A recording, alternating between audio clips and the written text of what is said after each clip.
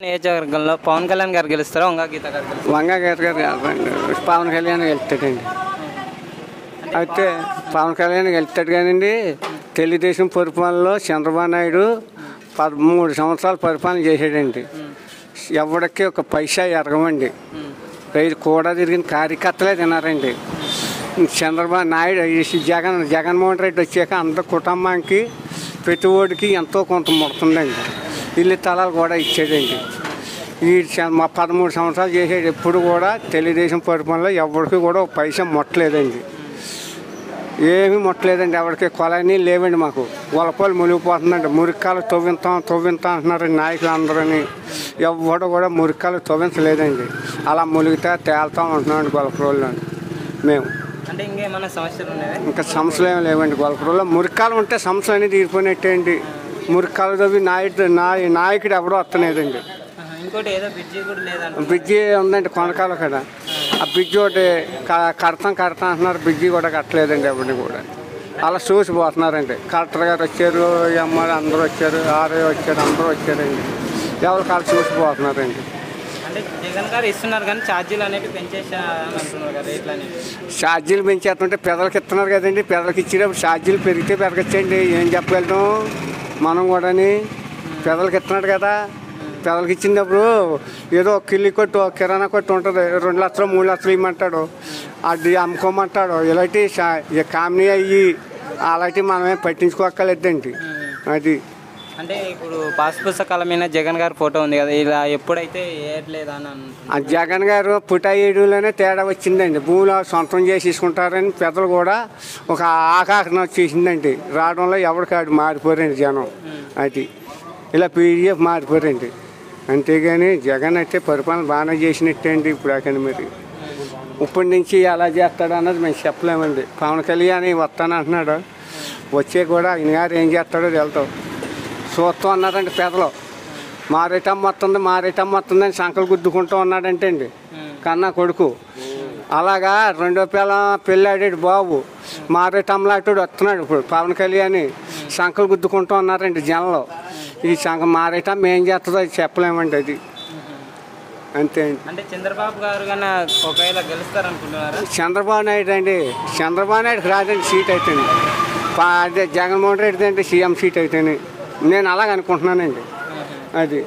అంటే ఒకవేళ ఆయన సూపర్ సిక్స్ పెట్టాడు కదా? అండి? సూపర్ సిక్స్ పథకాలు పెట్టాడు కదా? పథకాలు ఎన్నెట్టినా ఆ తాత్కాలికంగానే చూపెడతాడండి. పదవులోకి ఎక్కాక పథకాలు ఏమి ఇవ్వడండి. ఆమ్లాసలు తీసేస్తాడు ఇవన్నీ తీసేస్తాడండి. చంద్రబాబు నాయుడు మాట నె- నెకరం కాదండి. అది. చెప్తాడు కానీ చేయడం చేయడం చెప్పడమే కానీ చేయడం ఉండదండి. ముందు ఇంటికో ఉద్యోగం ఇస్తా అన్నాడు. ఎవరికి ఇచ్చాడండి ఉద్యోగాలు? ఎవరికి ఇవ్వలేదు. అంటే జగన్ గారు కూడా ఇవ్వలేదు అంటున్నారు కదా. అండి జగన్ గారు కూడా ఉద్యోగాలు కూడా ఇవ్వలేదు అంటున్నారు కదా. జగన్ గారు ఇచ్చారండి. చంద్రబాబు నాయుడు ఇవ్వలేదండి ముందు పరిపాలనను. ఇంటికో జాబ్ ఇస్తా అన్నాడు. ఎవరికి ఇవ్వలేదండి. అంటే రాజధాని అనేది ఐదు వేలు ఎకరం తీసాడండి వాళ్ళ పేరుని ఎట్టుకున్నాడండి చంద్రబాబు నాయుడు ఏం కట్టాడండి? పారం తప్పులు బలిసిపోయినాయి అక్కడ నేను చూశానండి అక్కడ. ఆ, పారం తప్పులు బలిసిపోయినాయి రెండు చుట్లు తిరిగానండి. హాస్పిటల్ బిల్లు కాయంతో ఈమంటేనే నాకు వెనక దోషి పారేసాడండి తెలుగుదేశం పరిపాలనలో రాయితానం రెండు చుట్లు తిరిగానండి నాకు మాట లెక్కే చేయలేదండి అక్కడ తెలుగుదేశం పరిపాలనలో రెండు చుట్లు తిరిగాను. రాయితానం అప్పుడు చూశానండి. ఏమి అభివృద్ధి చేయడానికి పెదలు చూడడానికే సరిపోయిందండి. జగన్ ఏం చూస్తాడు జగన్ గారు మళ్ళీ అభివృద్ధి చేశాడా ఇక్కడ ఏమన్నా? ఏమి చేయలేదండి. అలాగే ఉంటాయి ఇంగ్లీష్ మీడియం అనేది బాగా ఇంగ్లీష్ మీడియం ఇలాంటివన్నీ చేసాడండి హై స్కూల్లో ఇలాంటివన్నీ కట్టాడండి. గొలపరోళ్ళను పిడాపల్లి దారిలో హై స్కూల్లో ఇవన్నీ కట్టాడండి.